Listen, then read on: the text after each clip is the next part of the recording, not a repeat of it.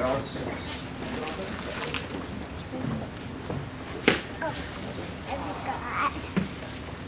We got a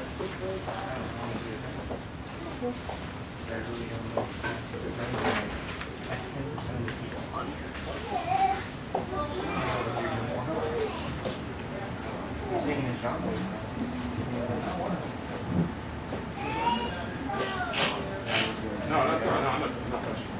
Just, yeah, just small.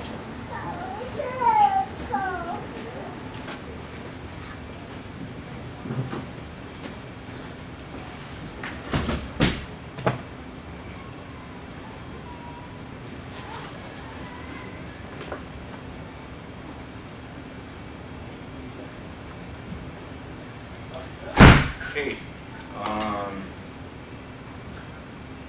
just to review, we're in Acts chapter one, Acts chapter one. We've been going over dispensations. We only have two more to go over once we finish up with this one. Well, technically, I guess we can look over into the third, but that's gonna be kind of covered in whatever the last one is I'm going over, so. Acts chapter one, We have a dispensation of promise. Uh, no, it would be,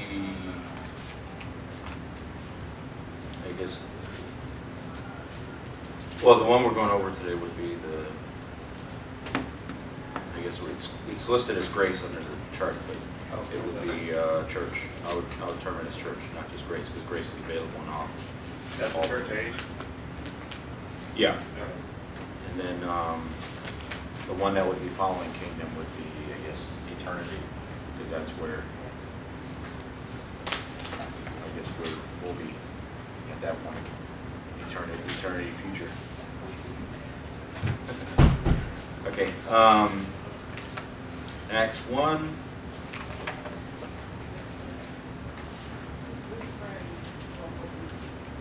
Uh, I guess just technically starting verse one, it says Acts one, uh, verse one. It says, former treatise have I made, O Theophilus, of all the Jews that failed, or that began both to do and teach until the days in which he was taken up after that, after he through the Holy Ghost had given commandments unto the apostles whom he had chosen, uh, to whom also he showed himself alive after his passion by many infallible proofs, being seen of them forty days, and speaking of the things pertaining to the kingdom of God.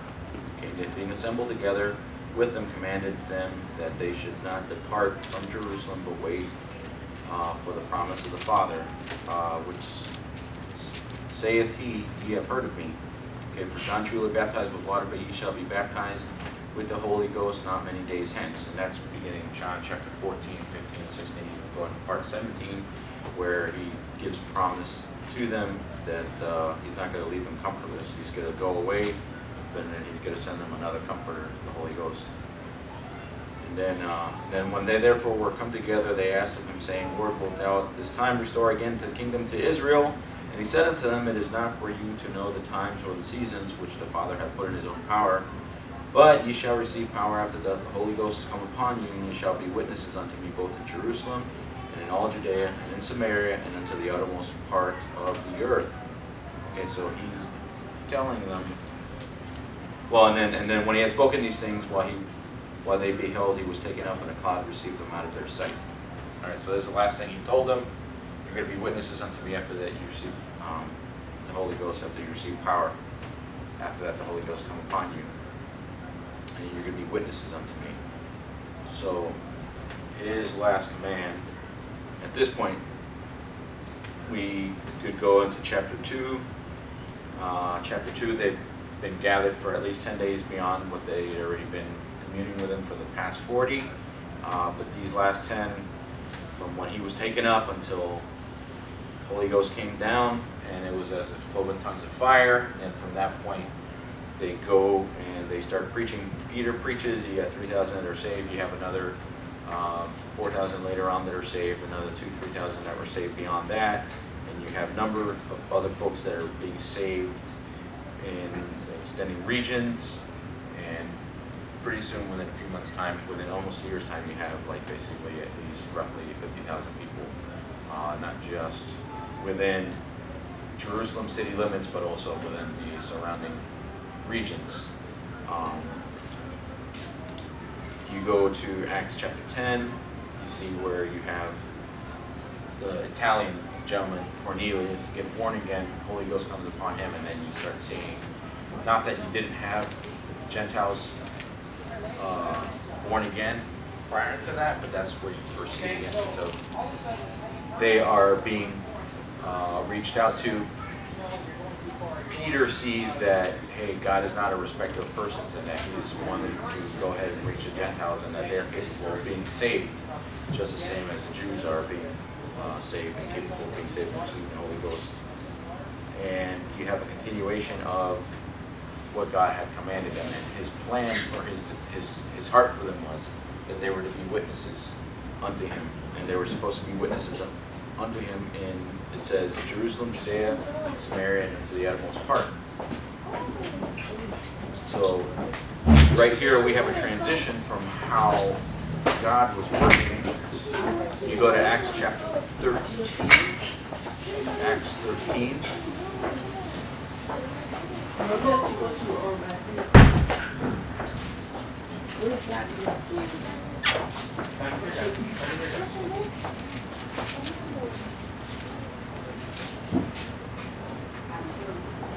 uh, Acts 13, uh, beginning of verse 1, it says, Now there were in the church that was at Antioch certain prophets and teachers as Barnabas and Simeon, that was called Niger, and Lucius of Cyrene and Manaen, which had been brought up with Herod the Tetrarch and Saul.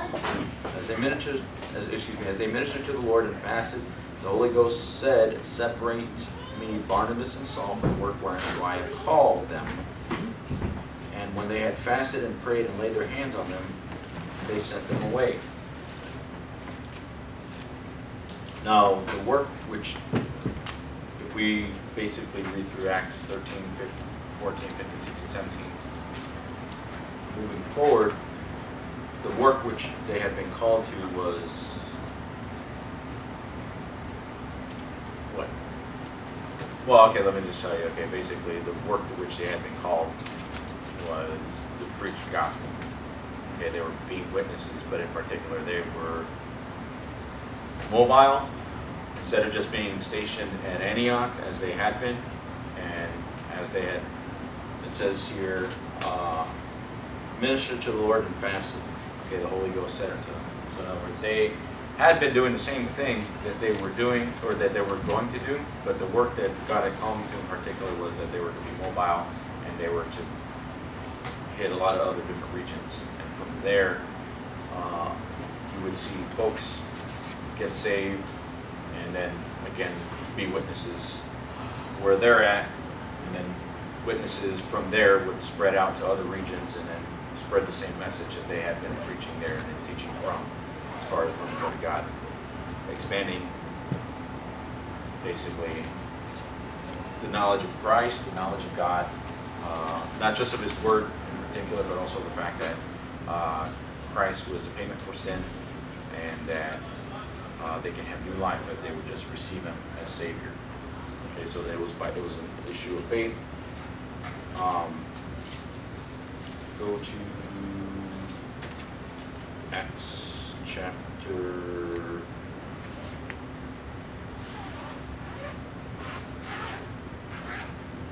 fifteen. Acts fifteen.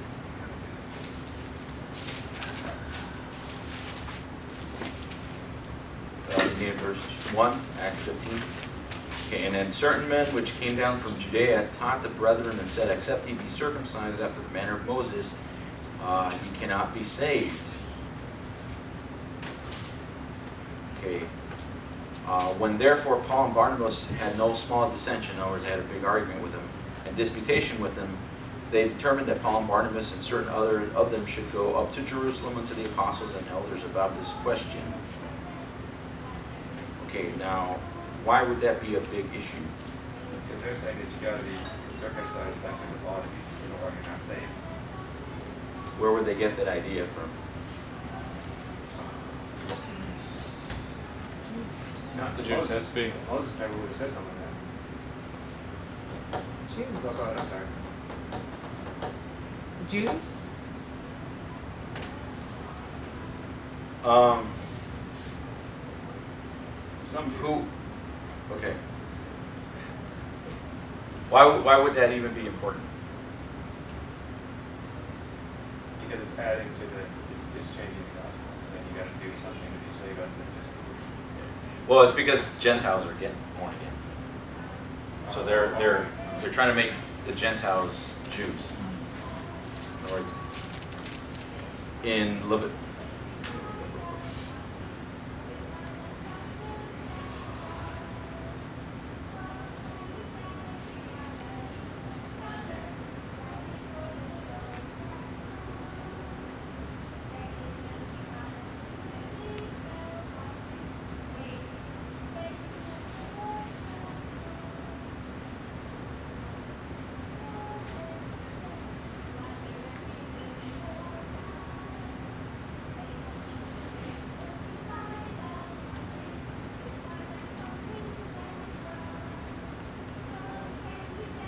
go to Leviticus 24.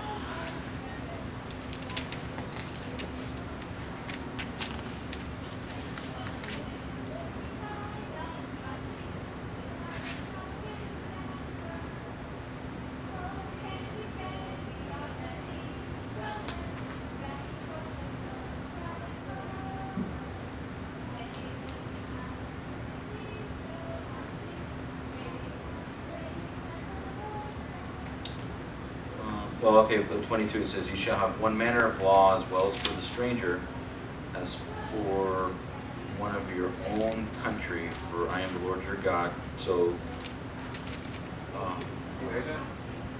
twenty-two, but that's not the, that's just saying, okay, you're supposed to have one manner of law, in other words, you don't, um, you're not supposed to be double standard. You- So the Judaizers are violating the Mosaic law.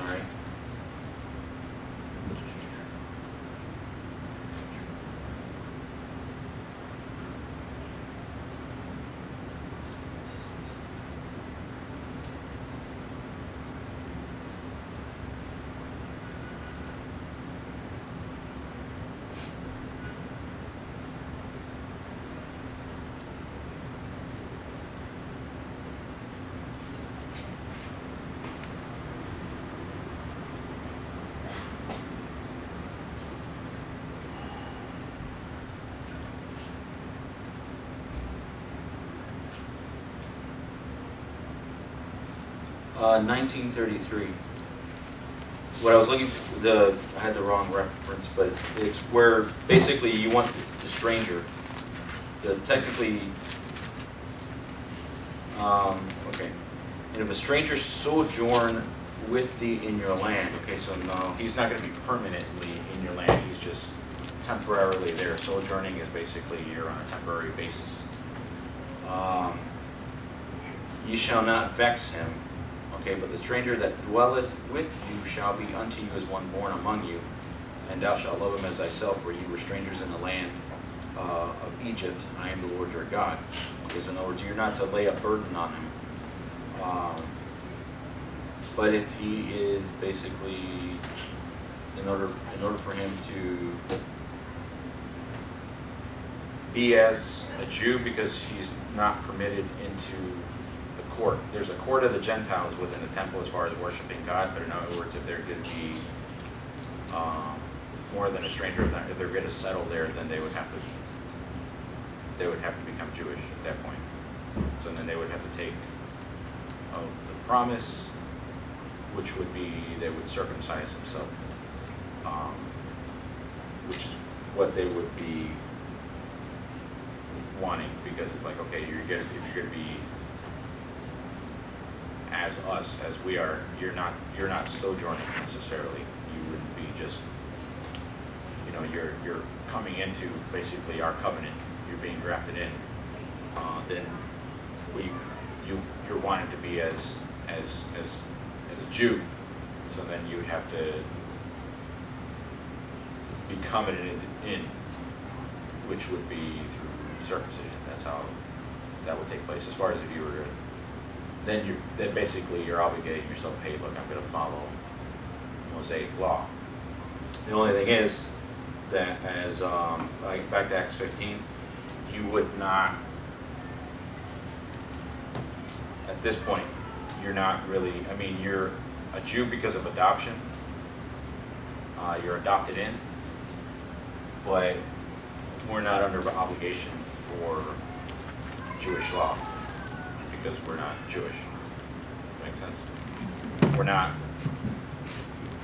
becoming uh, citizens of Israel like the nation. All right? And then also beyond that, is you guys remember what happened among many other things when Christ died?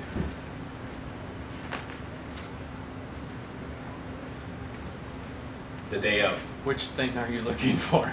Okay, words, okay, you got the, the, the, the veil, the veil and the holies of holies was split in two. Okay, yeah. thus indicating, okay, that now we have direct access. So, three days later, he would rise, he would let captivity captive, right? So, there's no need to worship at the temple anymore. In other words, we have access to God by a different way, a new and better way, new living way, which is through Christ. So, I don't need to come through the Levitical system. So in other words, I don't, I don't, I'm, I'm not, it's not necessary for me. Now, as a, as a Jew, as an ethnic Jew or whatever, that might, but the thing is, you, they're not, so there's no, um, God's working differently. In other words, he's, still has a nation, they're temporarily set aside, uh, but he's working, and he had been since that point.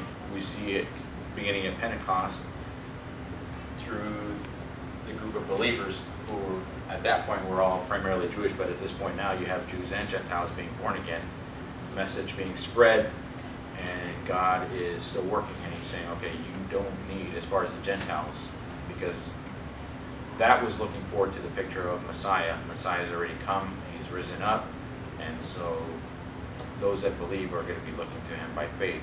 They're not being, even though they're adopted into Israel, they're not being you know, brought into the covenants that the national Israel has, and then also beyond that, that they don't have, uh, you know, they're, they're not, make, they're not making a treaty as far as with God, with regard to the land and all those other things, because this is a faith issue that they're looking to for salvation. So, um, Okay, verse 3, and says, being brought on their way through the, by the church, they passed through Phoenicia and Samaria, and declaring a conversion of the Gentiles, that, and they caused great joy unto all the brethren. Uh, when they were come to Jerusalem, they were received of the church and of the apostles and elders, and they declared of all, um, all things that God had done with them. Uh, but there rose up certain of the sect of the Pharisees, which believed, saying that it was needful to circumcise them and to command them to keep the law of Moses. And The apostles and the elders came together for to consider of this matter. Uh, when there had been much disputing, Peter rose up and said unto them, Men and brethren, you know how that a good, a good while ago God had made choice among us, that the Gentiles by my mouth should hear the word of the gospel and believe, and God which knoweth the hearts, bear them witness, giving them the Holy Ghost, even as he did unto us. And put no difference between us and them, purifying their hearts by faith. Morning. Uh, we are in Acts chapter 15. Um, now therefore, why tempt ye God to put a yoke upon the neck of the disciples, which neither our fathers nor we were able to bear? Okay, so he's being truthful here. Uh, no one's capable of being able to keep the law completely. Now, the righteousness that they received was by faith, not only just for salvation, but even back then, prior when prior to Christ coming, it would have been still by faith. Uh, so even faithfully keeping the law wouldn't have done anything for them. Uh, but it was just a demonstration of the fact that, hey, look, I'm looking forward to what God is going to do uh, in the future. But no one was able to be able to keep it fully. Um, and then, but we believe that through the grace of the Lord Jesus Christ we shall be saved, even as they. Then all the multitude kept silence and gave audience to Barnabas and Paul, declaring what miracles and wonders God had wrought among the Gentiles by them. And after they had held their peace, James answered, saying, Men and brethren, hearken unto me. Simeon hath declared how God at the first did visit the Gentiles to take them out of the people, uh, to take out of them a people for his name. And to this agree the words of the prophets, as it is written. After this I will return and will build again the tabernacle of David, which is fallen down, and I will build again the ruins thereof, and I will set it up, that the residue of men might seek after the Lord, and all the Gentiles upon whom my name is called, saith the Lord, who doeth all these things. Known unto God are all his works from the beginning of the world, wherefore my sentence is this, uh, is that we trouble them not, which from among the Gentiles are turned to God, but that we write unto them that they abstain from pollutions of idols, and from fornication, from things strangled, and from blood. Okay, for Moses of old time hath in every city them that preach him, being read in the synagogues every Sabbath day. Then it pleased, uh, then pleased it the apostles and elders with the whole church to send chosen men of their own company to Antioch with Paul and Barnabas, namely Judas and surnamed Barsabbas and Silas, chief men among the brethren. Again, and they wrote letters by them after this manner. The apostles and elders and brethren send greeting unto the brethren which are of the Gentiles in Antioch and Syria and Cilicia, for as much as we heard that certain went, uh, which went out from us um, have troubled you with words, subverting your souls, saying that you must be circumcised and keep the law, to whom we gave no such commandment. It seemed good unto us, uh, being assembled with one accord, to send chosen men unto you. Uh, yeah, unto you with our beloved uh, Barnabas and Paul, men that have hazarded their lives for the name of our Lord Jesus Christ. We have sent therefore Judas and Silas, who shall also tell you all the same things by mouth. For it seemed good to the Holy Ghost and to us to lay upon you no greater burden than, than, than these necessary things, that, that ye abstain from meats offered to idols and from blood, from things strangled, and from fornication, uh, from which if ye keep yourselves ye shall do well, fare ye well. Okay, so this, at this point, this is just kind of an elaboration of what God is wanting to do in this age, which in the chart is listed as grace, but it's really the church age. Uh, this is a new time in which God now has started working differently than what he was prior through Abraham's children, uh, Israel. Okay? And in particular, that they were under keeping of the law. So now, the law is not really a necessary obligation uh, in looking forward to what God is going to do. Why? Well, because Christ is the end of the fulfillment. Christ is the end of all righteousness, and so He's the fulfillment of the law. So when you receive Him, then it's basically He's the culmination of everything that would have been looked forward to in, in keeping the law and what you were what you were declaring faith in. Then He was coming, and then He was going to be the propitiation for our sins, not for our sins only, but for the sins of the whole world. And so now, what He has for us um, is that we as Gentiles. Now, this is something that is different or distinct from what would be, I guess, or what would have been common in Jewish culture back then. It's not really anymore. But uh, they would have had uh, abstaining from fornication. Not that you didn't have fornication around in their society, but rather is something that's a lot more prevalent in the Gentile societies as opposed to what would have been Jewish society, even though anymore it's Jewish Jewish culture, Jewish society is really pretty wicked. Uh, then you had of things strangled and from blood. So don't eat blood, and that just was a very plain uh, command. Going back to Leviticus at uh, 17, as far as the life of the flesh is in the blood, and He's given it to you for an atonement for your souls. So you you wouldn't have eaten blood. Now things strangled, that's because the life is still, or the blood is still retained in the meat, as opposed to drained. Whenever you butcher an animal, if you're gonna eat it, you normally would cut its throat or just drain the blood from it, from the meat. Okay, because you don't want the blood with the meat. And then, um, pollutions of idols. So in other words, you just refrain from idolatry. And that's because God's a jealous God, primarily. And idols don't do anything. Idols are basically, it's just devil worship, is what it is, demon worship. Uh, so this day and age, God working through people from whom He's called for His name, and that is anybody that calls on Him. Okay, it's not restricted strictly to just Israel. Now, back then, even though He was restricting Himself in working through Israel, He was still outreaching to the world. Uh, we saw that even in Esther's age. I mean, that was just one example that.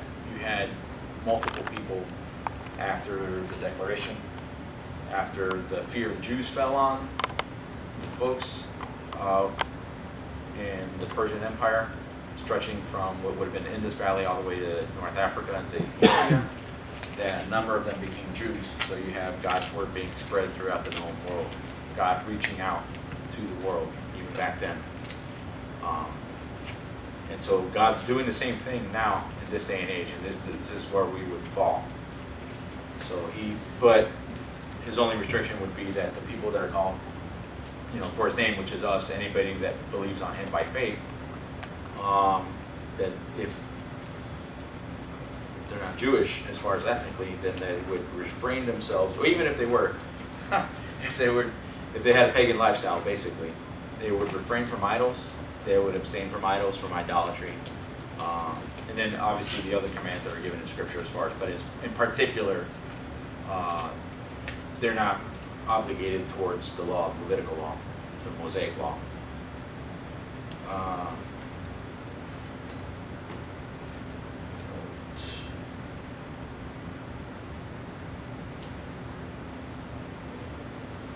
Go to Revelation 4, Revelation 4.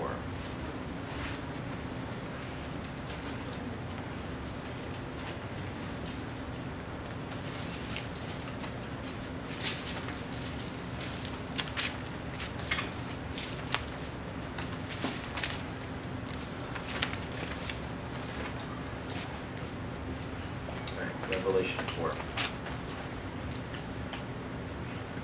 uh, verse 1, it says, After this I looked, and behold, a door was opened in heaven, and the first voice which I heard was, as it were, of a trumpet talking with me, which said, Come up hither, and I will show thee things which must be hereafter.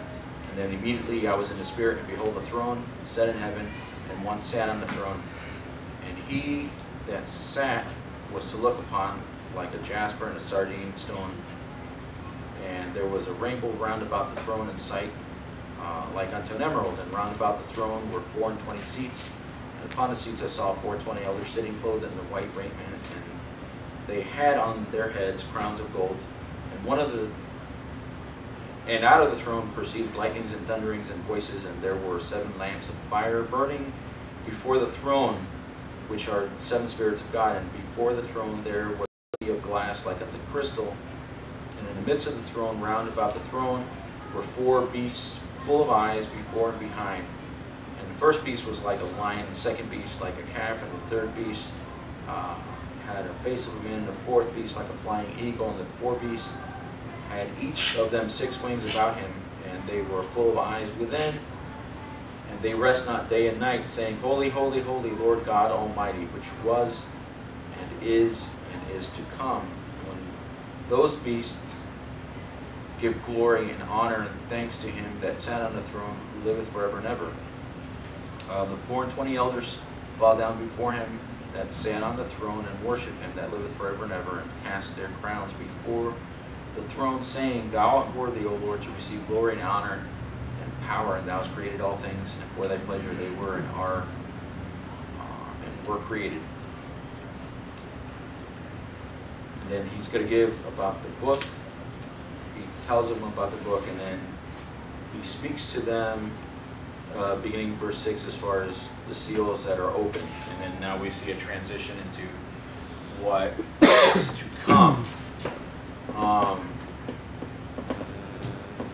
if you guys remember from Pastor's series on the book of Revelation, uh, earlier part of this year, last part of last year, was that you had um, the outline of it is that which was, That would that which is, and then that which is to come. And so, beginning at chapter four, it speaks of the things that is basically future to come. So everything in chapter four forward all the way to the end is still yet pending to come. And then you have a transition from what would be our age, which we're still waiting for this to happen. Um, Christ is going to, well, you know, go First Thessalonians 5. First Thessalonians. And then First Corinthians. Uh, First Thessalonians.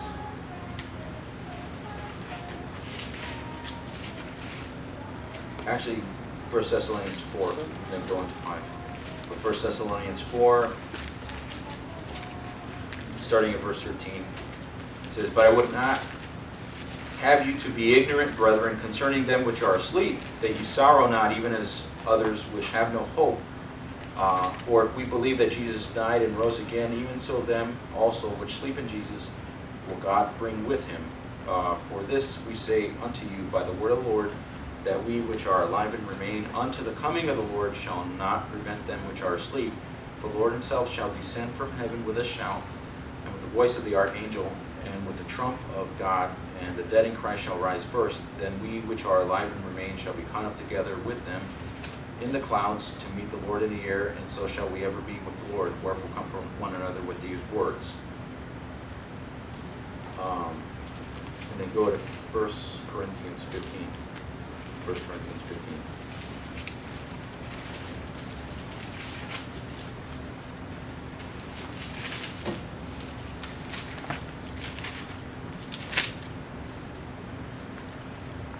Uh, beginning at verse 12. It says, Now if Christ be preached that he rose from the dead, how say some among you that there is no resurrection of the dead? But if there be no resurrection of the dead, then is Christ not risen? And if there, Christ be not risen, then is our preaching vain, and your faith is also vain. And, yea, and we are also found false witnesses of God, because we have testified of God that He raised up that He raised up Christ, whom He raised up uh, not, if so be that the dead rise not. For if the dead rise not, then is Christ not raised. And if Christ be not raised, your faith is vain, ye are yet in your sins. Then they also which are fallen asleep in Christ are perished. If in this life only we have hope in Christ, we are of all men most miserable. But now is Christ risen from the dead and become the firstfruits of them that sleep, or excuse me, them that slept. Uh, for since by man came death, by man came also the resurrection of the dead. Uh, for as in Adam all die, even so in Christ shall all be made alive. Uh, for every man in his own order. Uh, Christ first fruits, afterward they that are Christ that is coming. Okay, so Christ is, this is a recurring theme. Christ is coming. He's returning again. Uh, then cometh the end when he shall have delivered up the kingdom to God, even the Father, uh, when he shall have put down all rule and all authority and power. Uh, for he must reign till he hath put all enemies under his feet. The last enemy that shall be destroyed is death. For he hath put all things under his feet. Uh, but when he saith all things are put under him, it is manifest that uh, he is accepted, which did put all things under him. And when all things shall be subdued under him, then shall the Son also uh, himself be subject unto him that putteth, uh, that put all things under him, that God may be all and in all. Excuse me, God may be all in all.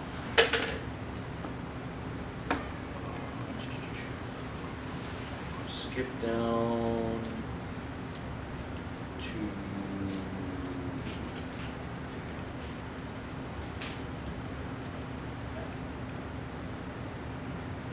verse 51, just to kind of. Uh, it says, Behold, I show you a mystery. We shall not sleep, but we shall be changed in a moment, in the twinkling of an eye, at the last trump. For the trump shall sound, and the dead shall be raised incorruptible, and we shall be changed. For this corruptible must put on incorruption, and this mortal uh, must put on immortality. So when this corruptible shall put on immortal, incorruption, and this mortal uh, shall put on immortality, then shall be brought to pass that saying which is written, Death is swallowed up in victory. O death, where is thy sting? O grave, where is thy victory? The sting of death is sin, and the strength of sin is the law. Thanks be to God, which giveth us the victory through our Lord Jesus Christ. Therefore, my beloved brethren, be steadfast immovable, always abounding in the work of the Lord, for as much as you know that your labor is not in vain in the Lord. Okay, this is speaking also of his second coming, which in First Thessalonians it says that he's going to be in the clouds. If you recall, also um, we didn't read it this morning, but Christ had told them that you know it's not for you to know the times of the seasons because they asked him when he was at Mount Olivet that what are one of these things? Uh, when are you going to restore the kingdom? When are you going to restore the kingdom? And he says it's not for you to know the times of the seasons but you shall receive power after that the Holy Ghost has come upon you. You shall be witnesses unto me. And then he gives the extent of that in Jerusalem, in all Judea and Samaria, and unto the uttermost parts of the earth. And then he went up into the clouds, right? So they're standing around, they're looking into the clouds, and then these two angels dressed in white, they're standing, or come up and approach him and basically say to them, Why are you standing here gazing up? Why are you looking around? This same Jesus, which also was taken up, shall come in like manner. So in other words, he's going to come again in the clouds the same way that you see him go up. He's going to come back in the same way. You know, so other words, go go and get busy about what he just told you to do. And then we see the same thing repeated basically in First Thessalonians that he's coming again. The Difference is that the dead that are in Christ are going to be raised up, and then we're going to be going up with him. That's a, that's elaborated in that and then here, 1 Corinthians tells us that when we are going to go up with him, that we are going to be changed. So our bodies will be changed in a moment, but we're going to be raised up like he was, went up visibly. And then, but the dead in Christ, their bodies will be basically wherever they're from, as far as within the grave, uh, transformed, raised together, reunited prior to what we would be. We all come up together with him and then at that point, we have the beginning of where you go into uh, Revelation 4 and moving forward that period of time of what would be the Great Tribulation. Now we know not only just from in Revelation, but also in Daniel uh, chapter 9 and also in Daniel 12, uh, another portion of Scripture in Isaiah in particular.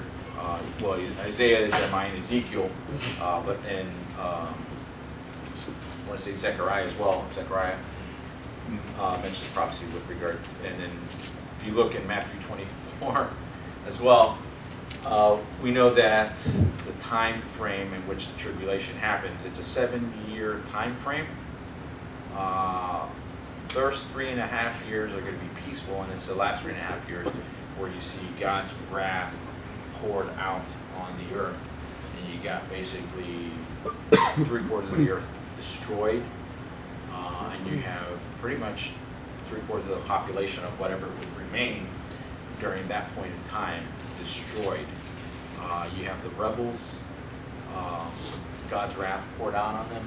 And, but you will have something that's pretty interesting during that period of time is that nation of Israel is going to be basically worked through, in effect. Uh, they are going to have their temple restored to where they're actually going to offer sacrifices and worship again. Uh, and then they're also going to have um, basically God defend them. Now, a number of them are going to be killed, but you have God promising that He's going to have 144,000 male Jewish evangelists that are virgins during the tribulation that are going to go out and preach the gospel. Uh, he's going to have two witnesses that are going to come out, which I believe is going to be Elijah and Moses, to preach. Uh, they're going to be killed out in the street, then they're going to rise up from the dead beyond that, not long after, uh, to witness of, of God during that time. But you have people that are going to get born again during the tribulation time. And so those that would be born again during that time, a number of which are going to be martyred. Uh, they're going to be killed off. We read in Revelation as far as they cry out to God as far as for God to bring justice for them, for not only just their deaths, but also the others. Um, and then, you know, we see God pour out his wrath, and then from that point, um, you transition into what would be the kingdom. So at the final of the seventh, the seventh year, basically, the last of the three and a half of the tribulation time, when God is pouring out his judgment, Christ returns, and then he lands in Jerusalem, Mount Olivet. He's going to split it in two, and then he's going to come down with us, and then all the other saints that are be with him, and we're like his army, basically coming down. Now he speaks destruction, so he doesn't need us to actually fight, because he just says the word, and then boom, everything's wiped out, destroyed, or whatever. And then at that point, Christ is going to be reigning and ruling from Jerusalem, literally, physically, uh, for the next thousand years. At that point, you have, at the end of that thousand year reign, Satan to be loosed, because Satan during this time is going to be bound, cast into a bottomless pit, and then he's going to be loosed from that to do whatever he's going to want to do. Gather up all the rebels that want to fight God, uh, that hate God, which is kind of weird because you're to have literally, physically, God Almighty, like in your face on planet Earth, having having ruled for a thousand years. Okay, and it's not like you can't say, okay, well, who's God? Or there won't be a knowledge of God. It's like literally God will be having had perfect rule and reign of the earth. Um, whatever would have been restored at this point in time that was damaged from the tribulation. Now, mind you, there's going to be a return, uh, according to Isaiah, to where you have almost kind of like in the Garden of Eden uh, type environment where you don't have to worry about like poisonous snakes attacking your kids and killing you. Uh, you're gonna have it says like the wolf lie down with the lamb. So in other words, you're gonna have like the predator animals uh, be able to sit down with the, the the ones that they would normally prey on to kill, and they're gonna be like docile. They're not gonna be like violent, looking to kill each other kind of thing. And then you're gonna have like a change in our appetites even. Well, with us, we'd be a changed body, so it's gonna be different. But as far as the ones that would be there, it'd almost be like a return, basically how it would be like Garden of Eden prior to the fall. Um, but you still have sin because you still have a sin nature. Now we won't because we'll be changed, we'll be transformed, but you'll have the people that would be born during that time, and then they would still have to call on God, but they would be in as perfect an environment, I guess, as you can be. You know, literally God on planet Earth, ruling. And what's crazy is that you still have people that want to rebel against God. Uh, we'll finish with that and then go into King, finish Kingdom next week. And then we're going to go look into. I know it seems kind of like, okay, this is a review of a bunch of stuff. And why is this important? Um, it's important, one, because one, the Bible teaches this, and then also uh, we're going to look at some of the errors that people come up with, okay, uh, as a result of basically not reading their Bible. or just twisting scripture, misapplying scripture. And why, I guess, why, why dispensations are important. All right, one, does anybody have any questions? You said the first three and a half years of the tribulation are going to be peaceful. Yeah.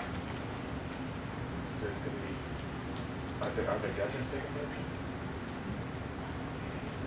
Um, you won't, ha- no, not the first, no.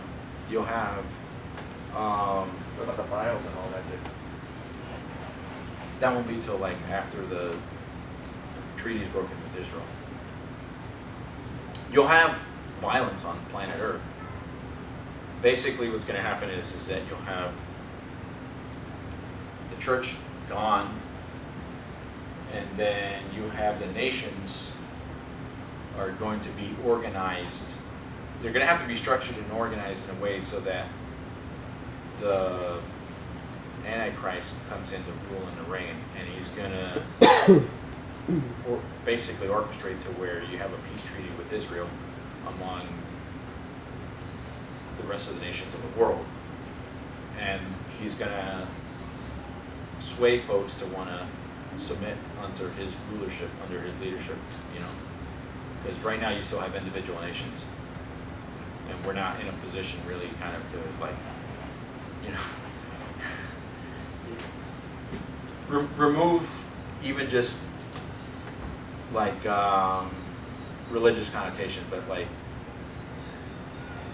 you know, when's America gonna give up and say like, yeah, we'll we'll let some foreign power, you know, make our laws and kind of govern us. Not, I mean, not just us, but like, just think, who's, you know, what nation right now is gonna want to do that? Is that what the New World Order is? They're trying to bring everything under one world government and one Yeah, world basically. religion. So they're working on it. Yeah. So the first three and a half years are going to be kind of a nice time. you're gonna have I mean you're still gonna have violence, but the thing is you're gonna have it to where it's organized to where all of a sudden you have all the nations are structured to where now they're governed by one central government, by this one leader. So they're abdicating their sovereignty to be governed for whatever reason, and then you have the implementation of like the whole monetary system with the whole um, chip however they do that as far as the, the sign of the beast. Yes. Who's the great whore of Babylon today?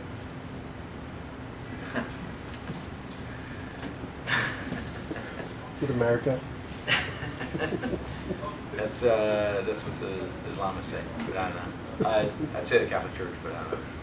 All right, uh, I, I'll answer some of that next week, or in private. We're dismissed.